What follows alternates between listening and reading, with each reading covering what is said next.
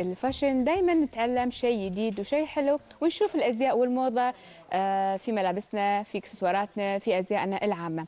لكن أيضا تعودنا إن إحنا نبرز كل واحد له جانب مميز في حياته. وبما إن جمانه الطبيخ هي فتاة مميزة دائما في كل ما هو جميل سواء كانت في الأزياء أو في الموضة أو حتى في ابتكار الهدايا الحلوة. لذلك حبيت اليوم إن تعرفون معي على شيء مميز هي ابتكرته وحاولت الناس كلها تتبعه أو تشوفه في أحلى صورة. مساء الخير جمانه مساء الخير غادة ومساء الخير على كل المشاهدين تعرفين ان أنا إيش كثر حبيت الأزياء مالتك لذلك اليوم لبست صراحة أنا لبست من. تصميم شكرا من تصميم جمانه وأيضا آه، الموضوع اللي راح أتكلم فيه راح يكون فاني موضوع مبتكر ومميز وخاص أيضا في جمانه. جمانه معروف إن المنتجات الجلدية فقط تلبس بالشتاء والناس دائما إذا بتلبس آه، جاكيت جيل ج- آه، جلد جلد مو جينز جاكيت جلد أو حزام تقول انه لازم فقط في موسم الشتاء وعادة الناس معروف إن الجلد فقط للمطر. جمانه لها رأي خاص تقول لا الجلد ممكن يلبس في كل موسم وفي كل وقت. طبعا غادة أنا من وجهة نظري إن الجلد بالذات هو خامة ممكن أستخدمها أنا بالصيف والشتاء لأن إحنا بالصيف أصلا قاعد نلبس الحزم نلبس وأنتم بكرام وأنتم بكرام الجواتي الجناط. شنو المشكلة؟ إذا أنا ركبت قطعة جلد على مثلا فستان أو على بنطلون شنو المشكلة؟ هل هذا راح يجيب لي الدفء ما راح يجيب حار لأن البرد ساعات بالشتاء ترى الجلد. اي واصلا على فكرة الجلد ما يدفي بشكل عام استخدم الجلد في الشتاء علشان المطر بس لو بتشوفينه ك fiber كمادة خام هو ما مو شرط ان أنا أستخدمه بالشتاء لو تلاحظين ان أنا ال style لابسته شوية صيفي صحيح. يعني أنا لابسة مثلا قميص ولابسة كذا وال look اللي أنا لابسته وايد صيفي وممكن يلبس بالصيف. وأنا شتوي. وأنت شتوية. صحيح. فعشان كذي ما له شغل و... وبالعكس الجلد من ترى الفايبر اللي وايد حلو باللبس. صحيح. غير كذي يعطيك شوية آه، أناقة وفي نفس الوقت تحسين إنه آه، مميز. بالفعل. مميز آه، كجاكيت أو كحزام أو حتى كفستان. الحريم دائما تدور كل ما هو جديد وكل هو مبتكر. لما تكلمتي عن الجلد قلتي إن أنا طلعت بصورة جديدة ومبتكرة. أنا صراحة عرفت المعنى ان تقصدين كحفر أو كرسم. زين الناس شنو ممكن تقولي لها عن آه، ابتكارك في الجلد اللي هو كحفر؟ الناس ممكن تشوف اللي على إيديني إنه هو أنا رسمة آه، ال horses على إيديني فالناس عبارة ان هي صورة طباعة. أنت قلتي لي فرق وايد كبير بين الطباعة وبين الحفر. طبعا. الفكرة طبعا ال brand اللي أنا اللي فاتحته اللي هو عالم الجلد Leather World الفكرة قائمة عليه طبعا على ابتكار آه، الصورة. أنت اللي تصممين الأزياء مالتك. أنا عندي مسطرة فيها 64 لون جلد. ممكن لما تجينا العميلة تبي تصمم لبس وايد مميز طبعا تختار لون الجلد وتختار الرسمة اللي تحفرها عليه صحيح. نظام طريقة الحفر أكيد الناس وايد أنا تكلمت من قبل عن مبدأ فكرة الحفر إني أنا قاعد أشيل طبقة من الجلد أو طبقة من الخشب إذا كنت حافرة على هدايا. صحيح. ال- النفتوف اللي أنت لابسته طبعا هو قاعد يطبق الفكرة فكرة الحفر. أنت اخترت الهورسز يوم آه، قعدنا نتكلم عن ال- الأزياء. وأنا اللي لابسته مثلا النفتوف هو فكرة جديدة أنا مسويتها اللي فكرة القص. اللي هو أنا قاصه الفايبر نفسه ومركبة تحته آه، جلد ثاني لونين. حلو. فصار الابيض تحت؟ بالضبط. فصاير إن النفنوف اللي أنا لابسته طبقتين. الفكرة فرق وايد كبير ما بين الحفر وما بين الطباعة. الطباعة ممكن مع الأيام تروح ممكن الألوان تبهت بس الحفر محافظ على تألقه محافظ على لونه لأن نفس ما قلت لك إحنا شلنا الطبقه من الجلد. حلو. آه، الموضة دائما يكون فيها حزام وازك الله حذاء أو آه، مثل ما نقول بالعامية شحاطة. طيب شنو الموضة إذا كنا مستخدمين حزام وجاكيت آه، جلد وشحاطة جلد ما نحس إنه بيكون وايد متروس كل شيء فينا جلد ولا؟ لا. لأن على حسب تقسيمتك. صحيح. لما أنا مثلا النفتوف اللي أنت لابسته في قطعة من تحت وفي الحزام والجنطة مالتش موجودة. ما ماني حاسة إن انت over لابسة جلد وايد وبنفس الوقت وايد أنيق. حلو. فما ما له شغل. الشيء المميز إنك أنت تسوين كل جنطة مع نفنوفها أو كل نفنوف مع جن... يعني مثلا مشاهدين أنا هذه الجنطة خاصة فيني. فأحب إن اللي يشوفها نفس الفستان اللي أنا لابسته أنا صراحة محبين الأصفر والأسود وأول مرة ألبسها في مسائي لذلك حبيت إني آه، الناس يفهموا إيش معناته إن أنا أطبع وش معناته أنا أحفر. قلتي انه يشيل الطبقة؟ طبعاً. طيب الطبقة مو المفروض تكون بارزه أنا أشوف المشاهدين إنه هو وايد ناعم وما في أي بروز. هذا يعتمد على نوع الجلد نفسه. طبعا الجلد مو واحد والأنواع مو واحدة. صحيح. طبعا الجلد آه، في طبعا اللي قاعد يلج مخلوط اللي قاعد يلج طبيعي اللي قاعد يلج بنفس هذه الطريقة والميدن نفسه بلد الصنع مختلفة. فعلشان كذي يختلف من جلد إلى جلد. حلو. ففي جلد تشوفينه لا يطلع طبقة بارزة وفي جلد لا تحسينه ناعم نفس مثل لابسته. كأنه طباعة. حلو. طيب بالنسبة حق البنت المحجبة تقدر تلبس الجلد مع حجاب وشيلة وبنطلون وجاكيت وتحس انه صار وايد ولا ممكن تسوين ثنائي حلو وجميل من ملابس المتحجبة والملابس حق البنت الغير متحجبة؟ غادة أنا بالنسبة لي ما في أي فرق بين ملابس المتحجبة وغير المتحجبة. لأن لو تلاحظين حتى المو متحجبة عندنا ممكن مثلا تلبس ليجن ممكن تلبس كذا. صحيح. فالفرق ترى ممكن بين لبسنا كمتحجبات وغير متحجبات ترى اللي هو شيلة. لأنه لو تروحين السوق ترى اللبس مو لبس متحجبات. صحيح. فتلقين البنت لابسة أكثر من قطعة بس علشان والله آه، مثلا. جاكيتات اي عشان الموضة. بس لو تشوفين لا ترى ما في فرق بين لبسنا اللبس المتحجبة واللبس الغير متحجبة.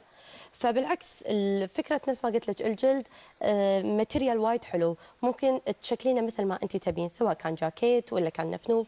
النفنوف اللي أنا لابسته أو اللي أنت لابسته ممكن أنا نفس نفنوفك ممكن ألبسه. صحيح. أضيف تحته لجن أو بنطلون. صحيح. طيب قاعد نشوف الجنطه اللي على الشاشة مع مشاهدينا وقلت لي هذا نوع من أنواع الحفر. هذا الجلد غاده اللي قلت لك عنه اللي ممكن تكون فيه طبقة بارزة. لو. تمسكينه أصلا باين يعني من شكل الوزن. هي بارزة آه، من عن الجلد نفسه. فنفس ما قلت لك يعتمد على الفابريك. وطبعا الحلو إن أنا أوفر حق عميلاتي تقريبا 105 أشكال جناط. حلو. قصدك شكل ولا قصدك كصورة طباعة؟ كشكل. حلو. لأن طبعا هذا كله made in Kuwait وأنا وايد فخورة. أكيد الجلد وايد. فخورة إن هذا تصنيعي وتصنيع الكويت هني. فمنتج كويتي على قولتهم 100% حلو. طيب أشوف جنطتك على الهواء اللي هي موديل ثاني من نوع أنا شو الناس شافوا جنطتي الصفراء وجنطتك الحمراء والجنطة اللي كانت على المانيكان لو تكلمنا عن جنطتك الحمراء كموديل آخر. هذا من الموديلات الجديدة اللي أنا مسويتها. وطبعا في شغلة حابة أوضحها إنه ممكن البراند اللي عندي كعلامة تجارية مو شرط تشترط عليك ان أنت تين تحفرين. ممكن أنت تين تبين تسوين جلد أي فكرة بخاطرك أنا ممكن أطبق لك إياها. ونفس ما قلت لك فكره نفنوفي قص. فكرة جديدة. صحيح. ممكن أي أسوي لك النفنوف كله من غير لا يكون فيه لا حفر ولا قص. فانا حابة إني أغير فكرة إن الجلد يلبس بالشتاء صحيح. آه جوانا نشوف المانيكان الحين قلتي لي الملابس أقدر أسويها ملابس مو متحجبة إلى ملابس بنت متحجبة والعكس صحيح. إذا كانت نعم. متحجبة ممكن البنت الغير متحجبة تلبس هذه القطعة. شلون آه نخليها البنتين يلبسونها؟ ج- على حسب الموديل. في طبعا موديلات آه، تعتمد على نوع القصة اللي هو يعطيك مثلا تخصر بالجسم.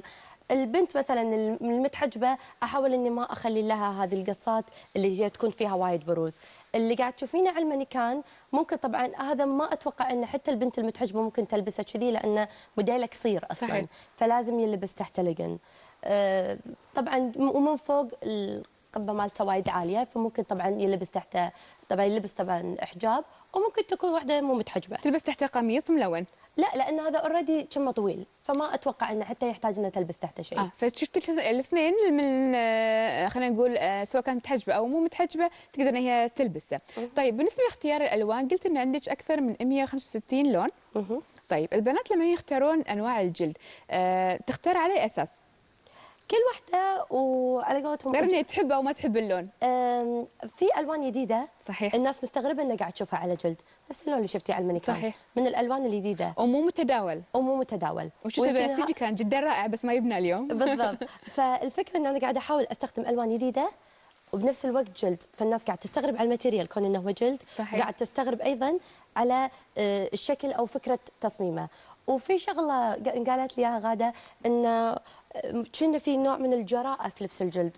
أنا هذه ضدها الفكرة 180 درجة. صحيح. لأن ما أتوقع أن في جراءة أن البنت تلبس جلد بالعكس الجلد وايد من ال fabric ال elegant يعني في أكيد. اللبس. ومميز للمراه أكثر ممكن طبعاً. بمعظم استخداماتها طبعاً. طيب بالنسبة لما نروح نشوف حاليا آه، خلينا نقول الأعزاء البنات نتكلم عامه عنهم. نحس إن البنات الحين صاروا كل شيء يلبسونه في أي وقت وكل وقت وأي مناسبة. يعني ازياء النهار ما صارت تخص فقط النهار ممكن يلبسونها النهار والعصر وبالليل وازياء بالليل والسهرة أيضا يروحون فيها العصر المولات يتمشون فيها بالأسواق. فليش صار عندنا الحين نوع ما راح أقول خلينا من اختلاط الذوق ولا حتى من قلة الذوق لكن أقول ما عارفين بالضبط كل وقت شنو يناسبه من ملابس. شنو رأيك؟ طبعا مع احترامي للجميع بس هذا انعدام ثقافة ثقافة الأزياء بشكل عام. صحيح. آه، لبس الصبح مو نفس لبس بالليل. آه، البنات قاموا حتى الصبح يلبسون زري. ومثلا في وزارات ترتر. صح. إيه، يعني هذا هبولت فيها يعني طيب. الناس صح يعني طالعين من دواماتهم الظهر وحر وترتر ليش؟ اي الفكرة إن أنا أدخل محل سين من المحلات شنو منزل موضة ترتر صحيح. ألبسها الصبح ولا ليل okay زين مو ليش شنو ألبس إذا لبست الصبح ترتر؟ مو هذا هذه الفكرة. فما حد قادر يستوعب إن اللبس اللي لبس بالجامعة كوني أنا طالبة ما أقدر ألبسه في دوام. أكيد. واللي ألبسه في دوام كبالطو ما أقدر البسه في جامعة. أصلا راح صحيح. أكون شاذة عن عن اللي حوالي. ال- اللبس مثل ما نشوف اللي على المانيكان يا جمانه ما أعتقد في بنات ممكن يلبسونه بالنهار لكن ممكن على الكلام اللي قلناه نشوف حد من لابسه. بض... اي اي س- عادي عادي ممكن ممكن. وهذا هذا المشكلة يعني اللي بوصل لك إياه إن انعدام آه ثقافة.